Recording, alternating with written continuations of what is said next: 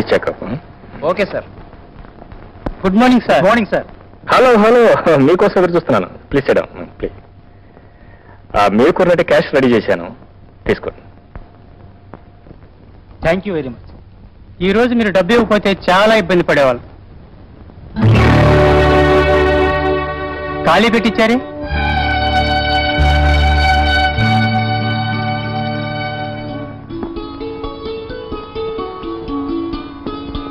సంధ్య?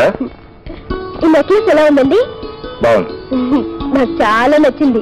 Beautiful design అది సరే. Brief కేసులు పెట్టిన డబ్బు నువ్వేమైనా తీసావా? తీశాను. అది పెట్టేగా నెక్లెస్ కొన్నాను? అది ఆఫీస్ బాంబే పార్టీకి ఇవ్వాల్సి తీసుకొచ్చి ఉంచాను ఆఫీస్ డబ్బని దాని మీద ఏమైనా ప్రింట్ చేసి ఉంటుందా? ఇవ్వాలంటే చెక్ ఇవ్వండి. ఆ మాత్రం తెలియకుండానే తీసుకొచ్చి పెట్టా అనుకున్నావా?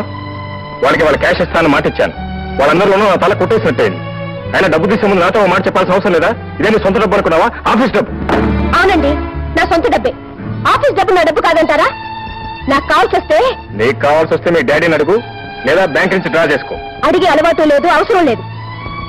అయినా ఇంత చిన్న విషయానికి మీరు ఎందుకు అంత గొంతు చించుకుంటున్నారో నాకు అర్థం కావటం లేదు. నమస్కా చేసిన తెలివి తక్కువ పంచాలకు ఇంకా ఎందుకు బుకాయిస్తా వాట్ హ్యాపెండ్ వాట్ హ్యాపెండ్ ఏమిటి హాట్ హాట్గా తప్పాలనుకుంటున్నారు ఏమే?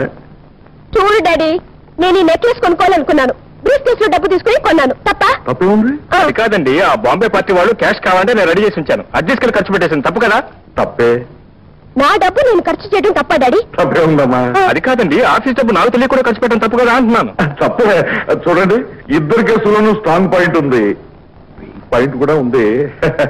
కూల్ డౌన్ కూల్ పోండి డౌన్ డాడీ. మీరు ఎప్పుడు ఆయన్నే సమర్థిస్తుంటారు. రావయ్య. రావయ్య స్వామి. రా, రా, రా.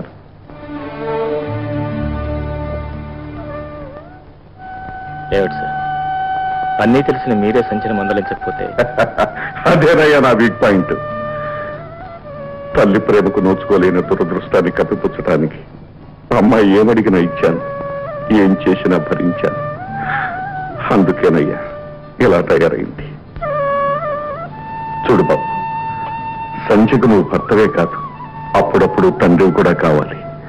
అమ్మాయి మాటకు నువ్వే ఆవేశపడితే ఇంకెవరయ్యా ఆమెను అర్థం చేసుకునేది.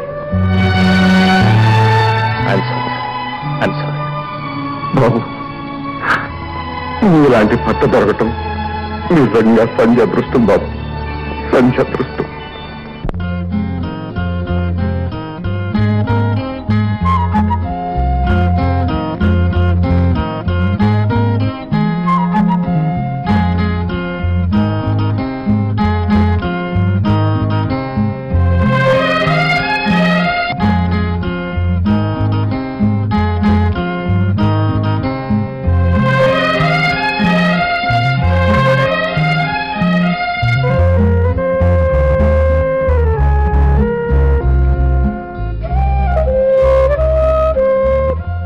Bad habit